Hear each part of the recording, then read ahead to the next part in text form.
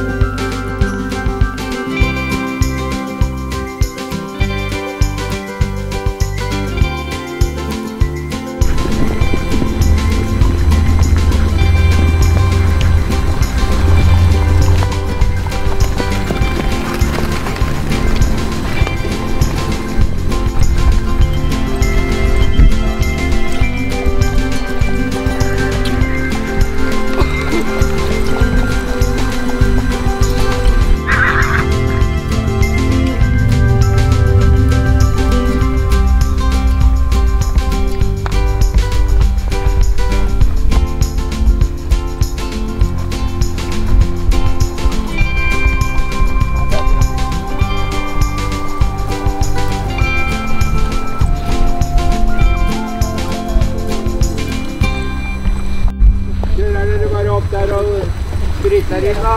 Ja. en hest, vi.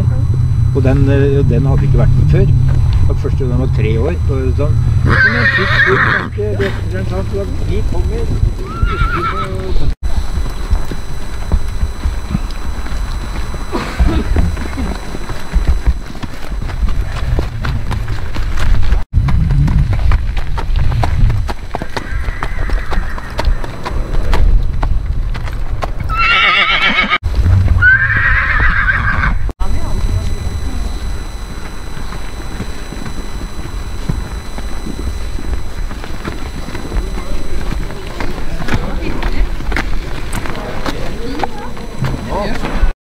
Ja, Per Ludvig, det var en bestemt dame. Ja, det er en bestemt dame. Ja. men Det er veldig fornuftig og grei, så det, det går bra. Men det er litt temperament. Ja, skal jo være det òg, da. Ja da, det skal det være. Det har gått bra med innkjøringa og sånn? Det har ikke vært det? Nei, det har ikke vært noe problem. Nei, det er bare å få kjørt litt. Ja, vi har fått kjørt en del. så- Ja, Hun trava jo kjempefint, da. Ja, hun beveger seg veldig fint. Ja, Det er jo Marma Raja som er faren. Ja, ja, Da har du litt forhåpninger òg, da. Ja, mora satte jo svensk rekord som toåring, så Å, yes. Ja, ja.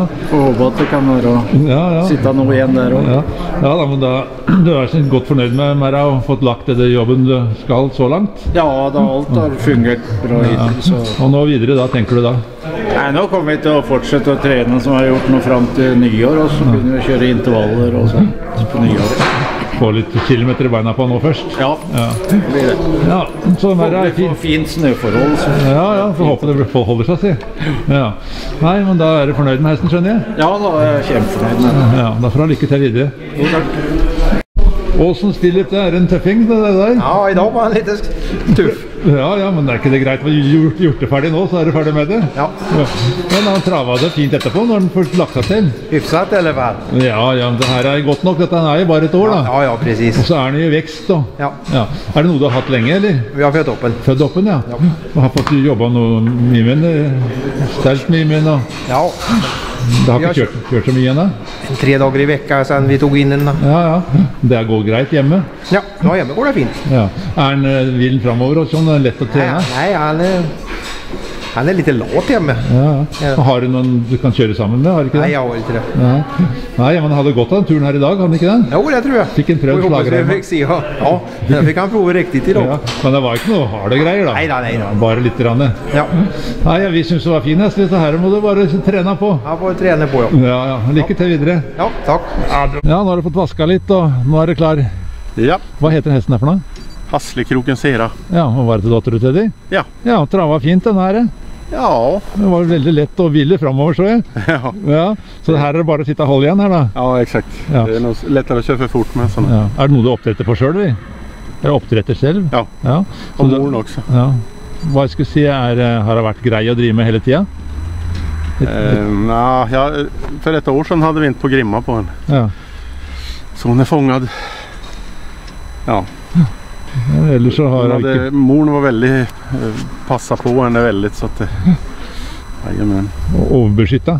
Ja, Men eh, sånn med innkjøringa, sånn de første turene har gått greit?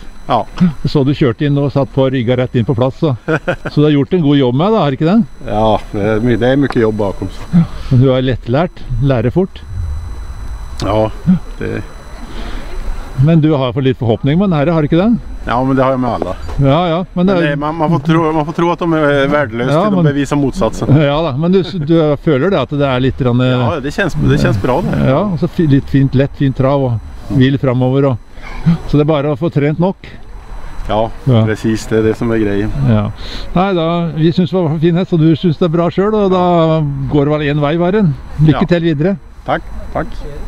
Ja, Eva, du har vært med som veterinær her med åringa i dag. Hva sier du om disse tre åringa som kom? Jeg syns att det ser lovende ut. Ja, de så Ja. fine ut. De er friske alle tre. Ja, var ikke noe hevelser i noe ledd eller noen ting. Ikke i leder. Det fanns en liten oppdrivning på en av hestene. Man ser at det var litt anstrengt. Ja. En tilvekstsak da, som kanskje Ja. rättar til seg. De vokser en del. Da blir det vel litt sånn, gjør det ikke det?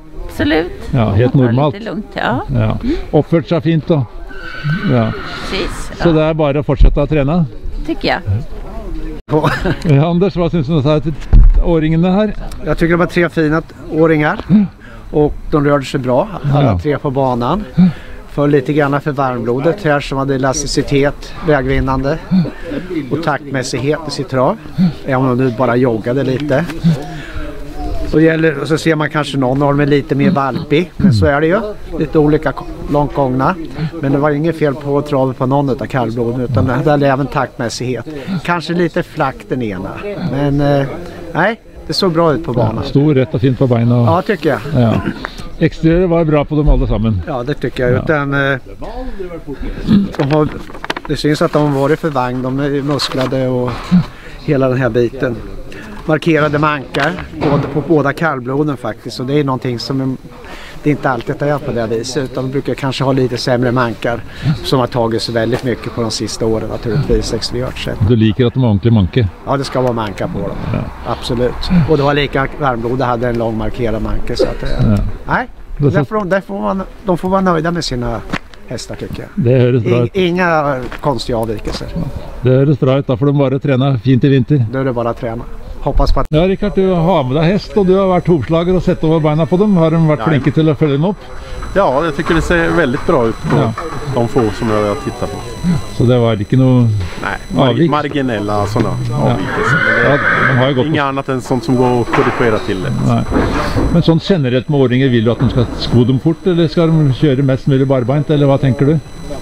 Det er alltid best at de går barfota så mye som mulig, men det, det går inte samman med träning. Det är, det är så. Så det är bara när, när, det, när de visar eh, ömhet så spikar vi på skor så fort som möjligt. Ja. Så de ikke blir så- sårbeinte? Nei, det får ikke, det får ikke være en plåga heller å springe, og trene ut Utan det, Få på, få på sko. jajamän. Ja. Nå blir det snøføre, og da må man ha på pigger òg, må man ikke det? Jajamän. Ja. Da er det Men- brodd som gjelder. ja. De så fine ut på beina i hvert fall. Jajamän. Mycket bra. Ja, Per Ludvig, det var jo bare tre åringer som møtte opp i dag, da, men det var litt dårlig føre på veier og litt forskjellig i dag, så, så var det vel lokalkjøring her i går. Og, Ja, det var litt synd at det ikke kom flere, for det, det er absolutt et bra tiltak der. Så jeg synes alle som har unghester skulle vært med på det. Hesta er, åringa er nybegynner, er de ikke det? Så det er godt å komme ut i trafikken. Ja, det er jo sosialt både for hester og folk, det her. Ja, ja, ja. Og disse som var her i dag, så fine ut, gjorde de ikke det? Ja, det var, det var veldig talent, den Carlosen til. Dofterud-Teddy der. Og den andre var jo fin den òg, men han var vel litt eh, hingstig da. Ja, altså det var litt nytt her i dag òg. Ja. Ja. ja da, men de var fine å se på, så det er Ja. bare å fortsette. Ja, det er bare å fortsette å trene. Ja. Du ser ut helt som en klovn. Ja, Gunnar, hva syns du om åringa her i dag? da? Ja, det var eh, tre velutvikla åringer. Forholdsvis store alle sammen. Og jeg syns de så veldig greie ut. De var jo veldig fine ute i banen. da. Det var jo Spesielt eh, på Carlos der så var det iallfall et sånn supertalent som er eh, livsfarlig med. da. For de vet hva vi mener? At der må du være forsiktig.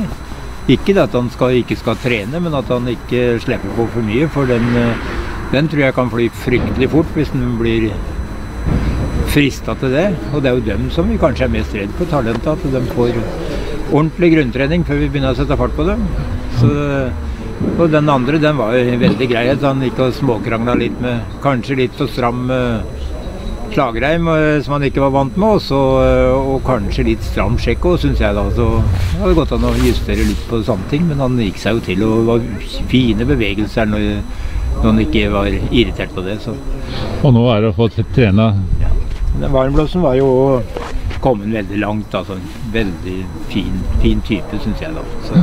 så dere får kjørt mye kilometer på den nå? Det er det som er målet nå, eller? Ja, det er å få grunntreninga i dem og åssen de legger opp det. Men det har jo en sånn litt eh, Vi har jo et forslag på åssen det er, og det er jo å øke gradvis. Det er jo sånn all trening er. Og, og, og, så de har fått nok trening i kroppen før de eh, Eller distanse i kroppen da, før hun begynner å sette fart på dem. Det er jo det som er eh, viktig.